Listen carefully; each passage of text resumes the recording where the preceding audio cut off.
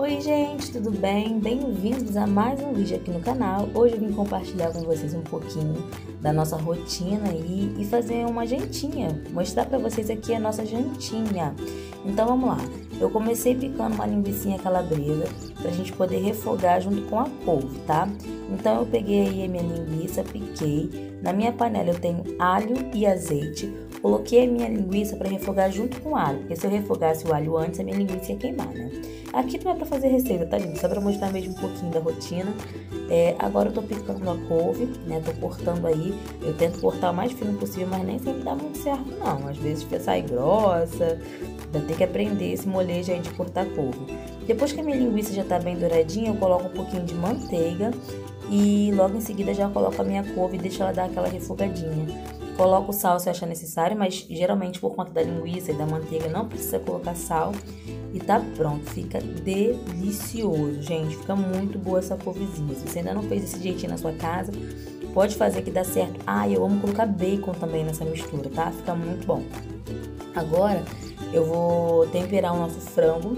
Eu gosto de temperar esse tipo de, de frango que vocês vão ver aí um dia antes ou de manhã pra gente comer à noite. Mas como eu tava meio corrida de. Eu tava afim de comer esse tipo de comidinha, eu fiz agora. Eu piquei, como vocês viram, cebola, cheiro verde e soquei o alho. O meu, as minhas coxas de frango ficaram de molho por mais ou menos umas meia hora na água com vinagre. Eu sempre faço isso, depois de lavar, eu coloco de molho na água com vinagre. Agora eu tô colocando todos os temperos que eu piquei para vocês. Esse pozinho que eu coloquei agora é lemon pepper. É, eu coloquei também pimenta do reino, tá? Acrescentei mais um pouquinho de pimenta do reino. Coloquei um pouquinho de azeite, misturei tudo. E depois eu coloquei o sal, tá? Para o nosso franguinho ficar bem gostosinho, bem temperadinho. O ideal, gente, como eu disse, é fazer isso aí um dia antes ou de manhã para comer à noite. Porque aí o frango realmente pega o gosto de todos os temperos e fica muito bom, fica muito gostoso. Vou tampar o meu tabuleiro aí com é, papel alumínio, e aí no caso eu tamparia com papel alumínio e deixaria ele na geladeira descansando, mas nesse caso já coloquei para assar mesmo.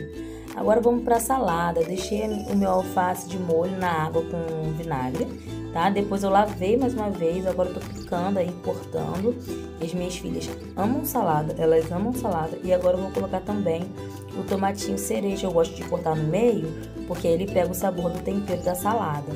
É, o arroz e o feijão nesse dia já estavam prontos aqui em casa, então a minha janta acabou sendo mais prática e mais rápida, tá? Saladinha pronta, só falta agora temperar. Eu deixo para temperar na hora que a gente vai é, comer e aquele pirex de salada lá vai todo embora.